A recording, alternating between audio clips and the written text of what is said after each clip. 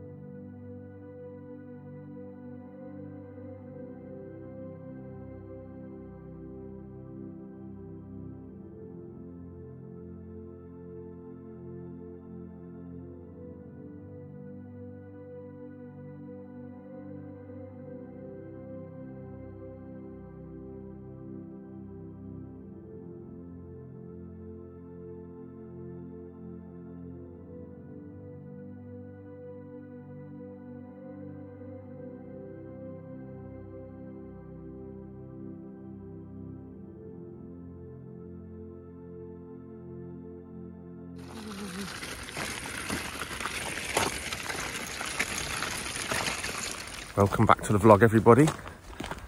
Out for a little walk. One of my favourite people there, look at that. Ooh, yesterday, I had a day off. I had a day off until the evening, then I spent two and a half or three hours all evening basically until late doing the usual office work and paperwork and emails and ordering and all that. But we had a day off. Jackie and Lily went out with some friends and Lily had a playtime. Uh, and I just got all the stuff done at home that's sort of been needed doing for a while when work's just got in the way. So now my schools are almost done for the for a few weeks of summer. I can sort of claw some stuff back. So gardening, actually got out in my garden and caught up on all the things, all the bindweed that had got over the front rockery, trimming stuff back, training the, um, oh goodness me, the grapevine and just all the stuff that you're doing, edging the lawn and so on and so forth. Now, our garden's not huge. Two years when we moved, the plan was to get somewhere with a substantial garden, move away where land's a bit cheaper and get somewhere with a substantial garden. Look at that. But having now got the Falconry Centre with a lot of land there, a lot more storage, a lot of space and a lot to tend to, we decided a sort of a normal average garden would be fine. Um, it, you know, it's got what we need. It does the job it's beautiful and very relaxing with the big trees at the back and everything else. So it's nice and we've got that done. Beautiful that is. I've got stuff done in the reptile room. Not quite finished, but did some more work on my new sort of tarantula uh, setup where I've got them on display. Bought some racking, built that. Got some lighting on there. Got a couple more spotlights today coming to add to that and some more labelling. And that'll be a lovely, nice, a nice display in the reptile room just for the spiders and some of the inverts. What else did we do? Oh, we've sorted out the, the dubia roach colony. So those that don't know, um, obviously a lot of my lizards and the spiders and things eat creepy crawlies, uh, which we buy in from the reptile shop on a weekly basis. But it's always handy to have a supply sort of on the go all the time. So that's what that's for. That'll take a few months, probably about six months really, before that colony is really full and packed and you can start feeding them to things, bless them. Wash the van. Wash the van.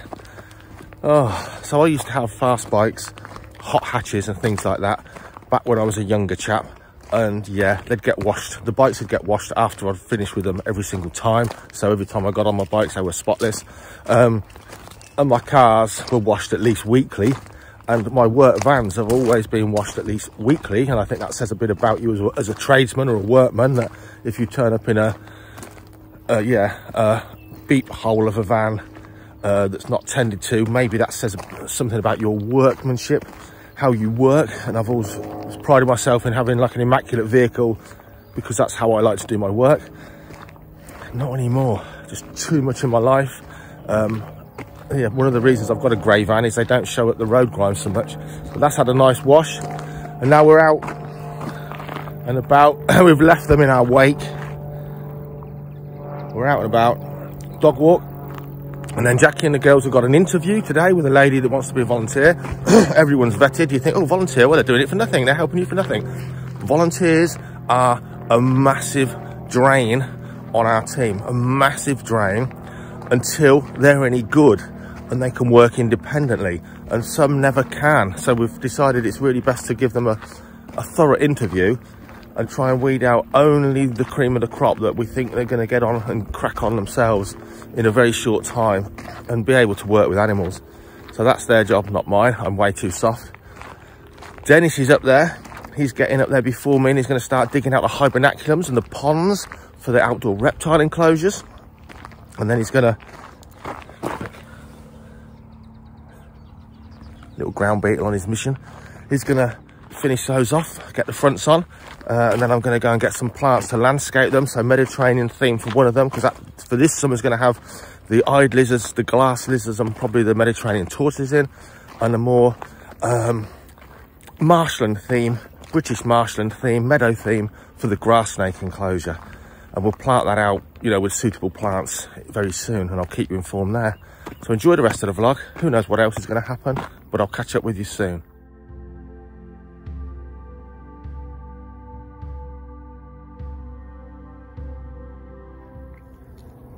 Just have a quick look at this. So this is what you call sort of wasteland, isn't it? It's disturbed land, not farmland now, not a building plot. It's all part of a quarry site near the river here. And you know what? This sort of wasteland and brownfield land is incredibly valuable. And yet brownfield sites, of course, are easier to develop. They were once built on and so on, so they, they soon get planning. Whereas greenfield sites, much harder to do so. And yet it's often wasteland and stroke brownfield sites that are far richer in habitat and diversity, often because of the planting. A lot of greenfield sites, just farmland. It's had a monocrop on it for years and years. It's pretty sterile. Whereas these brownfield sites and wastelands, you get a lot of disturbed seeds, annual seeds that have been in the ground dormant for years and years, and a lot of other stuff comes in on the wind. Rich habitat for insect life, and therefore for everything else.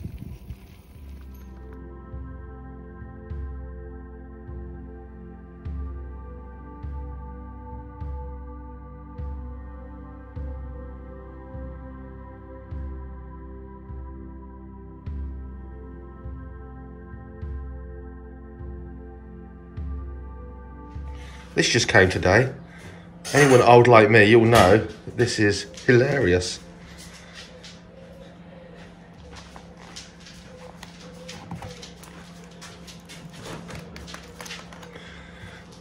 I think I'm a strong enough strong man to rip two of those in half. so typically, I had two batches of snakes hatching, quite rarely bred in the UK. Vietnamese blue beauties but much more rarely bred at the moment, are the four line snakes hatching when I wasn't going to be able to get near them for at least 24 hours. So no chance of helping any out the egg or keeping an eye, which is always a worry. So I decided to cut the eggs, and that just means some have already hatched, so I know it's the right time for them to hatch. And I'll just make a little incision with a, sc a scalpel blade or a razor blade, and that means any snakes that struggle have a way out. I never used to do this. I used to be firm believer in if they haven't got an egg tooth on the nose uh, to cut their own way out or, or they can't get out, then that's nature and tough tough luck on them, um, not fit for purpose. But the more I, more I've bred snakes over the years, the more it's very, very frustrating to be breeding something very rare or unusual and maybe out of a clutch get two or three perfect babies, chunky, healthy babies that maybe just didn't have an egg tooth on their nose or it came off too early and they couldn't get out the egg and they then drown in the egg very quickly after their hatching time is due. Um, good news is, when I did get back to these guys a day or two later, we got absolutely lovely, good hatch of lovely, lovely baby snakes. So they'll be on the website once they're eating and settled and ready to go to their new homes. But especially pleasing, the four line snakes, the European four line snakes. First time I've bred that species. They're not there's not many being bred in the UK at the moment, so it's like a, a really satisfying thing to see those wonderful babies. And they're some of the best looking baby snakes ever because they change as they grow into adulthood. They change their actual colour and pattern.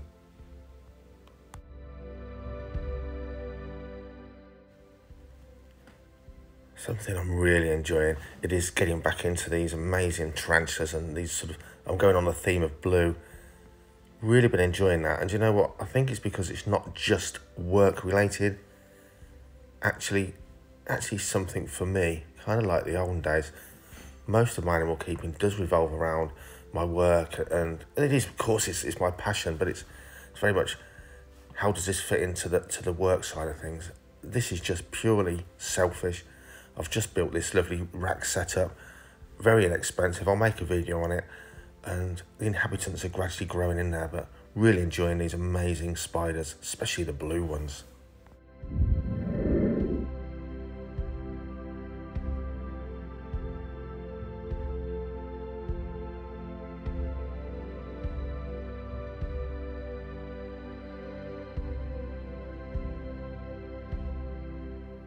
Something else I've done is just titivate here in the dart frog enclosure. You may or may not remember us building this and making the background for it as well. But it's really establishing now. So I really need to get my finger out and get some inhabitants because the plants are really establishing. I'm having to treat it like a bottle garden and prune them back and keep everything in a kind of a little bit in check. Some want to outgrow the others, of course, and shade them out, but it's doing okay. But very soon, time for some dart frogs to actually go in there.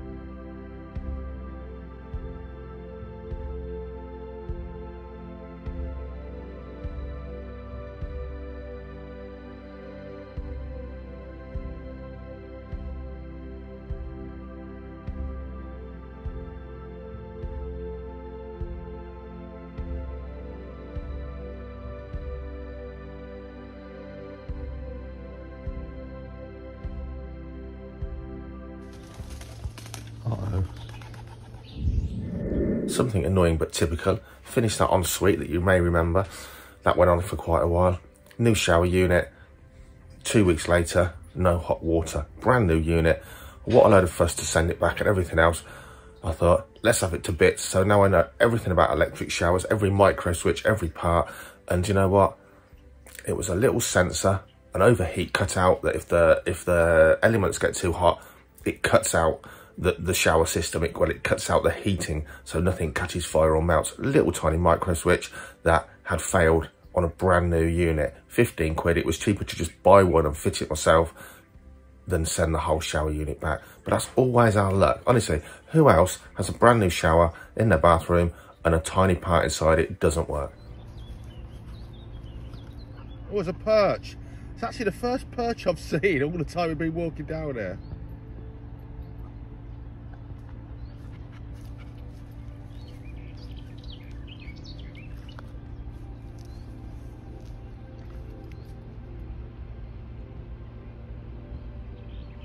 Thanks for watching you guys. Please subscribe. We're nearly about 100 off 2,000 subbers. If you watch the channel and you don't subscribe, do us a favour. Just makes me feel better. Get it up to 2,000. It's a slow burner, but it's growing all the time thanks to you guys. I'll see you in the next one.